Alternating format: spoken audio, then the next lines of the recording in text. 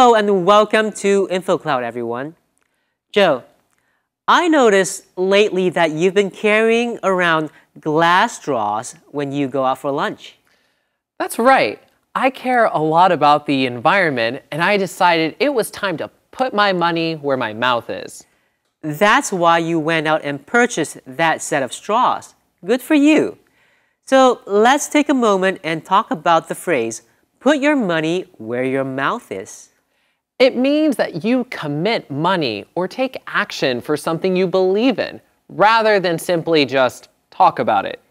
People who bet in horse races would use the phrase to push each other to put down money on a horse, rather than just talk about how that horse was the best. Now, this phrase isn't limited to just betting. Although you can use it to describe your own actions, the phrase is most often used to get others to take action.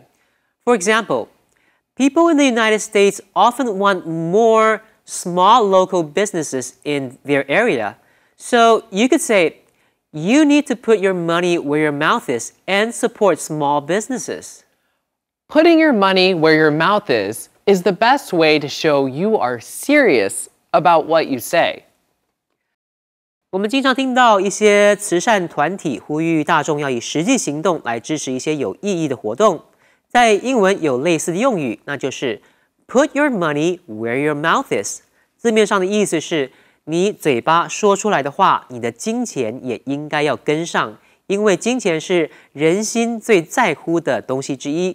你的金钱花在什么地方，就可以看得出你心里最在乎的人事物。Tom cares a lot about orphans and donates money to orphanages. Tom 很在乎孤儿，他也捐钱给孤儿院。